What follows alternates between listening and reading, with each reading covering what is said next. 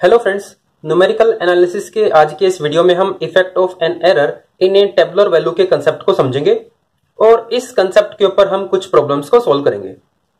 तो ठीक है फ्रेंड्स अगर आप इस चैनल के ऊपर नए हैं और इस चैनल की वीडियोस आपको पसंद आती हैं तो इस चैनल को ज़रूर सब्सक्राइब करें और अपने जरूरतमंद साथियों के साथ इस चैनल को ज़रूर शेयर करें। तो ठीक है फ्रेंड्स अब हम इस पूरे के पूरे कंसेप्ट को डिटेल में डिस्कस करते हैं।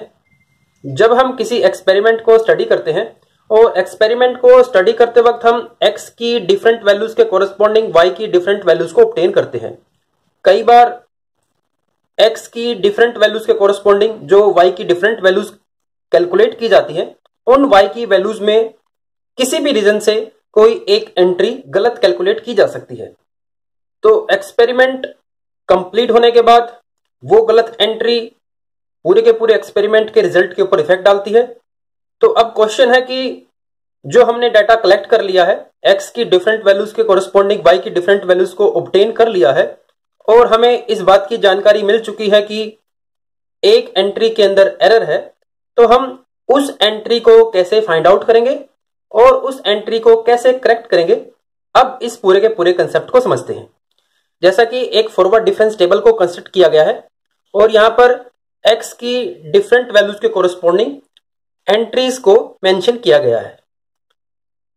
वन के कोरस्पॉन्डिंग एंट्री वाई वन है टू के कोरस्पॉन्डिंग एंट्री वाई टू है सिक्स के corresponding entry Y six plus E है। ये ई e डिनोट करता है कि इस एंट्री के अंदर जो एरर कैलकुलेट की गई है और टेन के कोरस्पॉन्डिंग एंट्री वाई टेन है। तो फ्रेंड्स जैसा कि अभी तो इस फॉरवर्ड डिफरेंस टेबल में हमने नोटेशन यूज़ की है और आप इजिली देखकर बता सकते हो कि सिक्स आर्गुमेंट के कोरस्पॉन्डिंग जो एंट्री है, उसके अंदर एरर है। लेकिन जब हमें न्यूमेरिकल्स गिवन होंगे न्यूमेरिकल्स की जो फॉर्म होगी, उसमें एक्स आर्गुमेंट के कोरस्पॉन्डिंग हमें वाई की वैल्यूज़ गिवन होगी। अब यहाँ पर आपको ई e जो एरर है, वो दिखाई नहीं दे रहा। तो अब इस टेबल में हम एरर का कैसे पता लगाएँगे किस एंट्री के अंदर एरर है, उस सारे के सारे कंसेप्ट को इस फॉरवर्ड डिफरेंस टेबल से समझते हैं। सबसे पहले तो हम इस बात को समझते हैं कि अगर किसी एंट्री में एरर कैलकुलेट की गई है तो वो फॉरवर्ड डिफरेंस टेबल के ऊपर क्या इफ़ेक्ट डालती है? तो सबसे पहला पॉइंट है कि इफ़ेक्ट एरर का फॉरवर्ड डिफरेंस टेबल के ऊपर क्या इफ़ेक्ट पड़ता है? जैसा कि हमने फ़र्स्ट फॉरवर्ड डिफरेंस के कॉलम को कंस्ट्रक्ट किया तो, तो इस एंट्री की एरर की वजह से जो दो टर्म्स हैं वो इफ़ेक्ट हुई है डेल्टा वाई फाइव और डेल्टा वाई सिक्स के कोरस्पॉन्डिंग सिमिलरली जब हमने सेकंड फॉरवर्ड डिफरेंस के कॉलम को कंस्ट्रक्ट किया तो इस एरर की वजह से तीन टर्म्स इफ़ेक्ट हुई है। नेक्स्ट ऑर्डर में फोर टर्म्स इफ़ेक्ट हुई है और नेक्स्ट ऑर्डर में फाइव टर्म्स इफ़ेक्ट हुई है। इस बात का मतलब है, अगर हमने किसी एक एंट्री के कोरस्पॉन्डिंग एरर को कैलकुलेट कर लिया है और उसके कोरस्पॉन्डिंग हम फॉरवर्ड डिफरेंस टेबल को कंस्ट्रक्ट करें तो जो एरर है एरर का इफ़ेक्ट बढ़ता जाने लग रहा है। जैसे जैसे हम फॉरवर्ड डिफरेंस के ऑर्डर के कोरस्पॉन्डिंग कॉलम को कैलकुलेट करते जाने लग रहे हैं। तो फ़र्स्ट पॉइंट यही है फ्रेंड्स जैसे जैसे हम फॉरवर्ड डिफरेंस के टेबल को कंस्ट्रक्ट करते जाने लग रहे हैं, जो एरर का इफ़ेक्ट है, वो बढ़ता जाने लग रहा है। Effect of error increasing. Second point को समझते हैं। जैसा कि तो फ्रेंड्स, यहाँ पर भी जो एरर के कोफिशंट्स को अगर हम ऐड करें तो यहाँ पर भी जो सम है वो ज़ीरो है। सिमिलरली यहाँ पर भी सम ज़ीरो है। और लास्ट कॉलम में भी जो सम है, वो ज़ीरो है। तो sum of coefficients sum of coefficients of error is zero ये हमने सेकंड पॉइंट को ऑब्ज़र्व किया। थर्ड पॉइंट को ऑब्ज़र्व करते हैं। फ़र्स्ट फॉरवर्ड डिफरेंस के कॉलम को ऑब्ज़र्व करते हैं ध्यान से। यहाँ पर ई e का कोफिशियंट वन है और यहाँ पर ई e का कोफिशियंट माइनस वन है। और हम अगर one minus X raise to power one को अगर ओपन करें तो यहाँ पर जो कोफिशियंट्स हैं, वन और माइनस वन ही है। सिमिलरली, अगर सेकेंड ऑर्डर के फॉरवर्ड डिफरेंस के कॉलम को ऑब्ज़र्व करें, यहाँ पर एरर के जो कोफिशियंट है, वन माइनस टू वन, और अगर हम one minus X raise to power two को ओपन करें बाइनोमियल एक्सपेंशन की हेल्प से तो यहाँ पर भी जो कोफिशियंट है, वो यही है, one minus two one. Similarly आप थर्ड कॉलम के कोरस्पॉन्डिंग ऑब्ज़र्व कर सकते हो। एरर के जो कोफिशियंट्स है one minus three plus three minus one और यहाँ पर भी one minus X raise to power three में भी one minus three three minus one तो थर्ड पॉइंट हमने ऑब्ज़र्व किया। इस भी कॉलम को आप पिक करते हो। जैसे अगर हम डेल्टा थ्री वाई को अगर पिक करें और इस पावर के कोरस्पॉन्डिंग अगर हम one minus X raise to power three को अगर ओपन करें तो इस कॉलम में जो एरर की कोफिशियंट्स हैं, वो कोफिशियंट्स वही हैं जो इस एक्सपेंशन में कोफिशियंट्स यूज़ हुए हैं। तो थर्ड पॉइंट फ्रेंड्स हमने ये ऑब्ज़र्व किया है। फोर्थ पॉइंट हम ऑब्ज़र्व करते हैं कि हम टेबल की हेल्प से कैसे पता लगाएँगे कि किस एंट्री के अंदर एरर है। इसके लिए हम एक बार जो लास्ट कॉलम है हमारा डेल्टा फोर वाई इसके कोरस्पॉन्डिंग हम जिस टर्म में एरर का मैग्नीट्यूड मैक्सिमम है, उस टर्म को ऑब्ज़र्व करते हैं और वो टर्म है delta four Y three plus six E इस टर्म के अंदर जो एरर का मैग्नीट्यूड है, वो सिक्स है। और अगर हम इस टर्म के कोरस्पॉन्डिंग एक होरिजेंटल लाइन अगर ड्रा करें तो वो entry Y six plus E को स्ट्रक करती है। इस बात का मतलब इस एंट्री के अंदर एरर है। तो फ्रेंड्स हमने हाईएस्ट मैग्नीट्यूड की एरर के कोरस्पॉन्डिंग एक होरिजेंटल लाइन को ड्रा किया और वो हमें इस बात की जानकारी देती है कि किस टर्म के अंदर एरर है। तो जब हमने डेल्टा फोर वाई के corresponding highest magnitude error term को पिक करके होरिजेंटल लाइन को ड्रा किया तो वो ये हमें जो एरर एंट्री है, उसके कोरस्पॉन्डिंग ये लाइन स्ट्रक करती है। लेकिन फॉरवर्ड डिफरेंस टेबल को कंस्ट्रक्ट करते वक्त हमारा जो लास्ट कॉलम है, वो ज़रूरी नहीं। वो इवन ऑर्डर के फॉरवर्ड डिफरेंस के कोरस्पॉन्डिंग कैलकुलेट किया गया हो, वो ओड ऑर्डर के फॉरवर्ड डिफरेंस के कोरस्पॉन्डिंग भी कैलकुलेट हो सकता है। इसको हम आगे डिस्कस करेंगे कि किसी फॉरवर्ड डिफरेंस टेबल को कंस्ट्रक्ट करते वक्त हमें कितने ऑर्डर तक फॉरवर्ड डिफरेंस को कैलकुलेट करना है। तो सबसे पहले हम एक बार ओड ऑर्डर के कोरस्पॉन्डिंग भी ऑब्ज़र्व करते हैं कि हम कैसे फाइंड आउट करेंगे कि किस एंट्री के अंदर एरर है। जैसा कि हमने इवन ऑर्डर के फॉरवर्ड डिफरेंस के कोरस्पॉन्डिंग ऑब्ज़र्व कर लिया है कि हमें केवल एक ओरिजेंटल लाइन को ड्रा करना है। अब अगर हमारा फॉरवर्ड डिफरेंस टेबल में जो लास्ट कॉलम है, अगर वहाँ पर जो ओड ऑर्डर का फॉरवर्ड डिफरेंस कैलकुलेट किया गया है तो यहाँ पर दो टर्म्स ऐसी हैं, जहाँ पर जो एरर का मैग्नीट्यूड है, वो सेम है। जैसा कि delta three Y four minus three E और delta three Y five plus three E तो इन दोनों टर्म्स के कोरस्पॉन्डिंग हम ओरिजेंटल लाइन को ड्रा करेंगे। और हमने इसके कोरस्पॉन्डिंग भी होरिजेंटल लाइन को ड्रा किया। तो जैसे ही हमने इसकी कोरस्पॉन्डिंग भी होरिजेंटल लाइन को ड्रा किया तो इन दोनों लाइंस में जो एंट्रीज आ रही है, वो एंट्री है वाई सिक्स प्लस ई तो इस बात का मतलब है, अगर हमारा लास्ट कॉलम ओड ऑर्डर के फॉरवर्ड डिफरेंस के कोरस्पॉन्डिंग है तो हमें दो होरिजेंटल लाइन को ड्रा करना होगा और उन दो होरिजेंटल लाइन के बीच में जो एंट्री आएगी, उसी एंट्री के अंदर एरर है। और अगर हमारा लास्ट कॉलम इवन ऑर्डर के फॉरवर्ड डिफरेंस के कोरस्पॉन्डिंग कैलकुलेट किया गया है तो हमें हाईएस्ट मैग्नीट्यूड की एरर के कोरस्पॉन्डिंग ही एक होरिजेंटल लाइन को ड्रा करना है और वो हॉरिजेंटल लाइन जिस एंट्री को स्टक करेगी, उसी एंट्री के अंदर एरर है। ये हमारा फोर्थ पॉइंट है। तो फ्रेंड्स अब जो लास्ट पॉइंट है फिफ्थ पॉइंट कि हमें कैसे पता चलेगा कि हमें जो फॉरवर्ड डिफरेंस टेबल को कंस्ट्रक्ट करना है, वो कितने ऑर्डर तक कैलकुलेट करना है। ये फ्रेंड्स न्यूमेरिकल के ऊपर डिपेंड करता है। तो इस पॉइंट को अच्छे से क्लियर करने के लिए हम तीन न्यूमेरिकल को डिस्कस करते हैं। पहला जो न्यूमेरिकल है, यहाँ पर x की वैल्यूज़ के कोरस्पॉन्डिंग y की वैल्यूज़ को कैलकुलेट किया गया है और इस फॉरवर्ड डिफरेंस टेबल को कंस्ट्रक्ट किया गया है। और जैसा कि आप देख पा रहे हो, जो लास्ट कॉलम है, वो डेल्टा फोर वाई के कोरस्पॉन्डिंग कैलकुलेट किया गया है। जो मेन पॉइंट है कि हमें कितने ऑर्डर तक फॉरवर्ड डिफरेंस टेबल को कैलकुलेट करना है, उस पॉइंट को समझते हैं।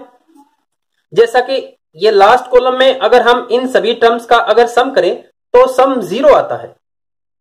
तो फॉरवर्ड डिफरेंस टेबल को कंस्ट्रक्ट करते वक्त अगर आपको कोई ऐसा कॉलम मिल जाता है, जिस कॉलम में सभी टर्म्स का सम ज़ीरो है तो हम उस कॉलम को ही हमारा फाइनल कॉलम बनाएँगे।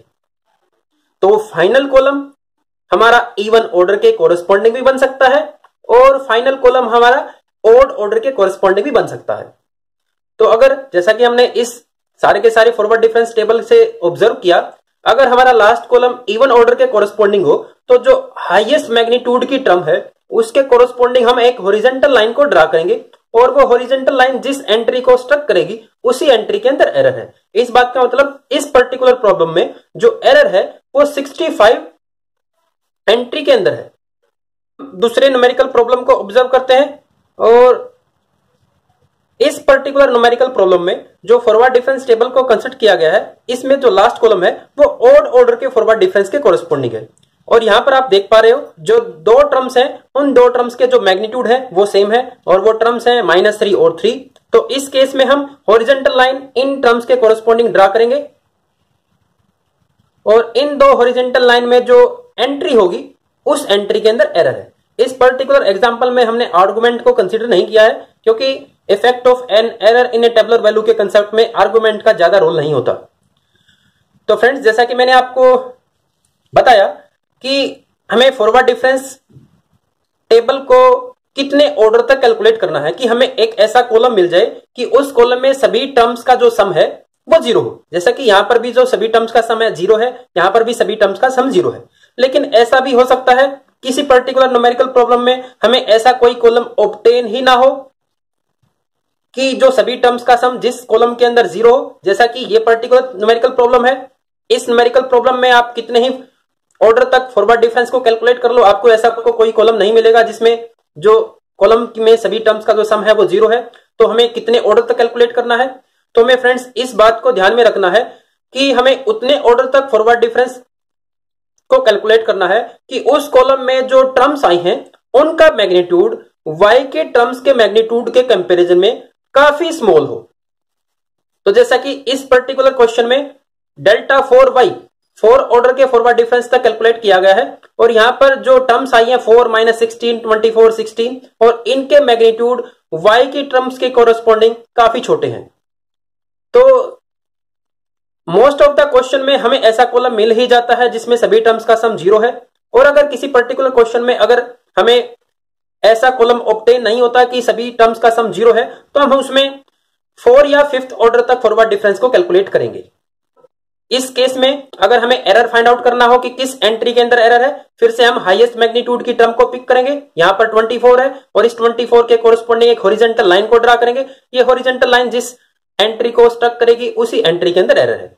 तो फ्रेंड्स हमने अभी तक इस पॉइंट को डिस्कस कर लिया है कि फॉरवर्ड डिफरेंस टेबल को कंस्ट्रक्ट करते वक्त हमें कितने ऑर्डर के फॉरवर्ड डिफरेंस को कैलकुलेट करना है। अब हम इस पॉइंट को समझते हैं कि जैसा कि इस 65 एंट्री के अंदर एरर है तो एरर कितनी है? अब हम एरर के मैग्नीट्यूड को फाइंड आउट करते हैं और हम फिर इस 65 एंट्री को करेक्ट करेंगे। और इसको करेक्ट करने के लिए हम, जैसा कि जो हमारा लास्ट कॉलम है, उसमें हम फॉरवर्ड डिफरेंस के ऑर्डर को ऑब्ज़र्व करते हैं। यहाँ पर जो फॉरवर्ड डिफरेंस का जो ऑर्डर है, वो फोर है। तो हम one minus x raise to power four की बाइनोमियल एक्सपेंशन को ओपन करते हैं और इस एक्सपेंशन में जो मिडल टर्म है, उसको पिक करते हैं।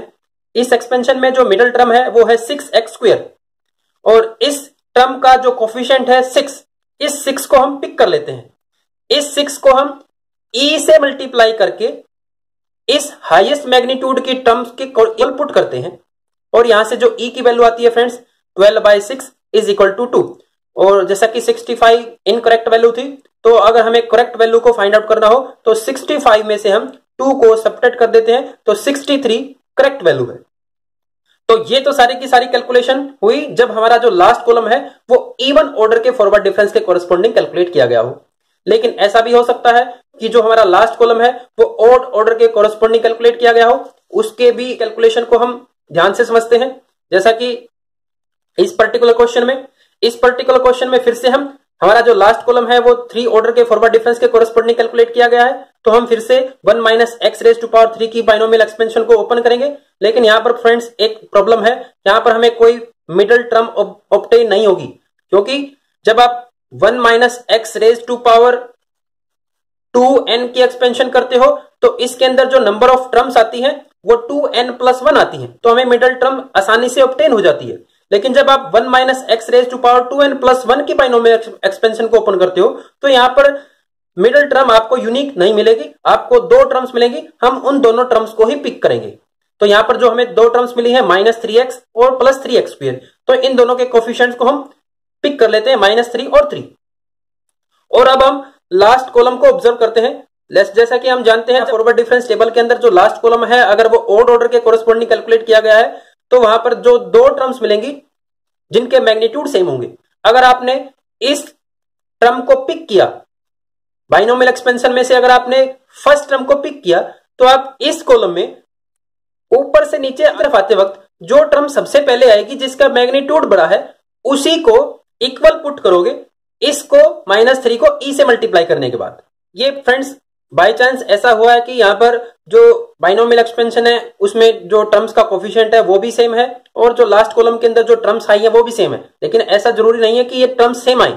अगर आप नीच लास्ट कॉलम में नीचे से ऊपर की तरफ़ जाते हो और जो सबसे पहले जो टर्म आती है, वो थ्री आती है, जिसका मैग्नीट्यूड इस कॉलम में सबसे ज़्यादा है तो हम इस केस में one minus x raise to power three में जो दो मिडल टर्म्स हैं, उन मिडल टर्म में जो लास्ट टर्म है उसके कोफिशियंट को हम पिक करेंगे, उसको ई e से मल्टीप्लाई करके हम इस थ्री के इक्वल पुट करेंगे। तो यहाँ से एरर की जो वैल्यू आ जाती है फ्रेंड्स वो बना जाती है और हम फिर से करेक्ट वैल्यू के लिए 18 में से वन को सब्ट्रैक्ट करते हैं तो जो करेक्ट वैल्यू है, वो 17 है। तो फ्रेंड्स इस बात को बड़े ध्यान से समझना है कि अगर हम, अगर हमारा जो लास्ट कॉलम है, वो ओड ऑर्डर के फॉरवर्ड डिफरेंस के कोरस्पोंडिंग कैलकुलेट किया गया है तो वहाँ पर ऐसी दो टर्म्स मिलेगी जिनके जो मैग्नीट्यूड है, वो सेम होंगे। और जब उसके कोरस्पोंडिंग आप बाइनोमियल एक्सपेंशन को ऊपर करोगे तो वहाँ पर भी हमें दो कोफिशियंट्स पिक होंगे। अगर आप पहले कोफिशियंट को पिक करते हो तो ऊपर से जो फ़र्स्ट टर्म आएगी, उसके इक्वल पुट करना है।